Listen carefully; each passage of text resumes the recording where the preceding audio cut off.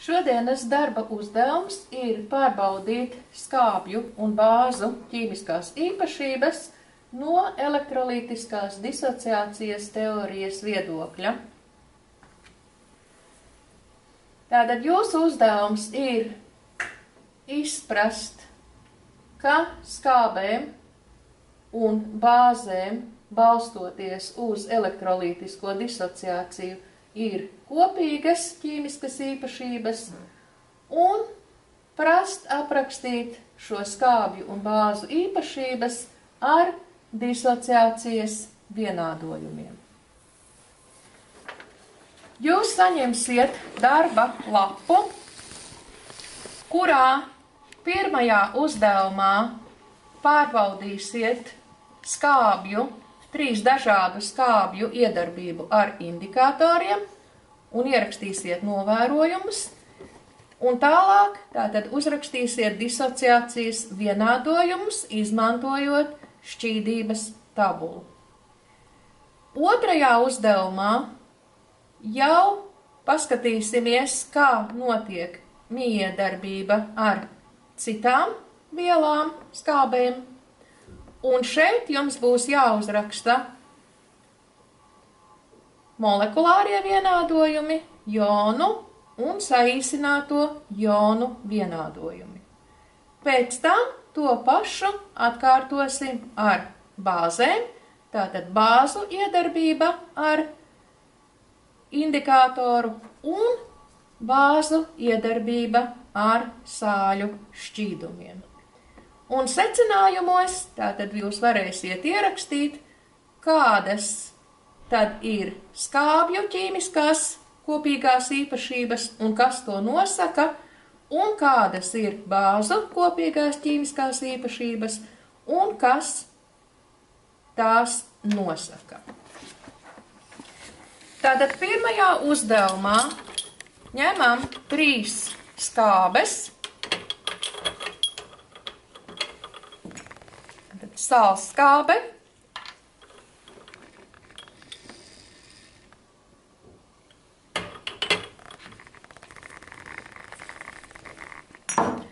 Sērskābe.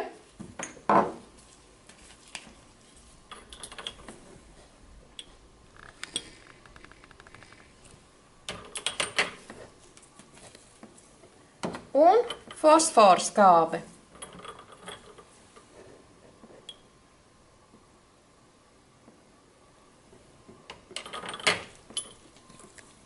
Un pievienojam indikātoru fenolmetilu oranžu.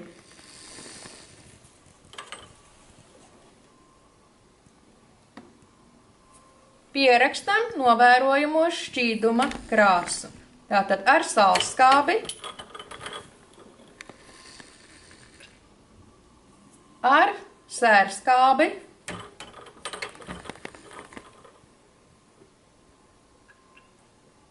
un ar fosforu skābi.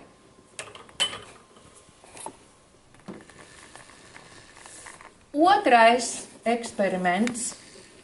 Tātad ņemam nātrija karbonāta šķīdumu.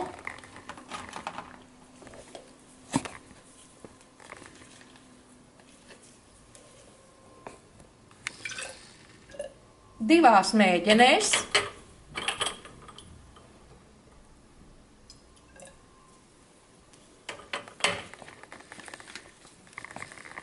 Pirmajā mēģinē pievienojam salskābes šķīdumu. Tātad redzam, ka izdalās gāzes burbulīši. Un otrajā sērskābes šķīdumu.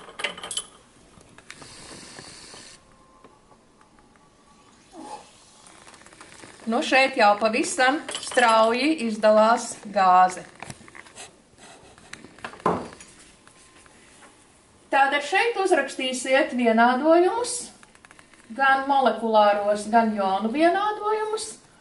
Un tālāk, trešajā eksperimentā jau pārbaudīsim, kādas tad ir bāzu kopīgās īpašības un kas nosaka tās. Tātad divās mēģinēs ielējam.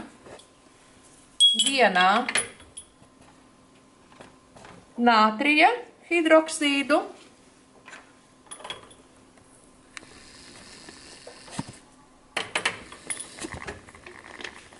Un otrā kalcija hidroksīdu.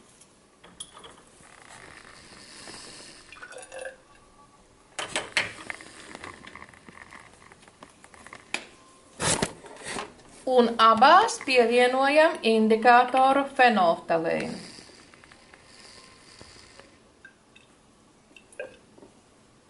Ar nātrija hidroksīdu ar kalcija hidroksīdu. Pierakstam novērojumus un uzrakstam disociācijas vienādojumus. Un ceturtais eksperiments.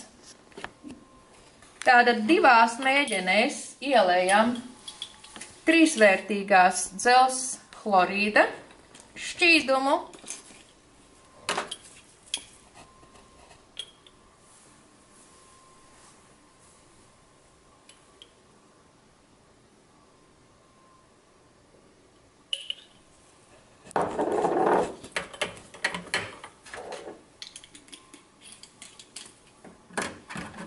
Pirmajā mēģinē pievienojam nātrija hidroksīda šķīdumu. Tātad redzam, ka izveidojas brūnas nogulsnes.